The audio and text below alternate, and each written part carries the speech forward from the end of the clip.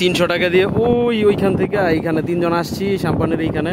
এখানে ছবি টবি তুলে তারপর চলে যাব এই ঘন্টাকে। আমার কাছে তিনশো টাকা অনেক বেশি মনে হয়েছে ভাই, আমার কাছে মনে হচ্ছে তিনজনে দেড়শো টাকা ভালো হয়।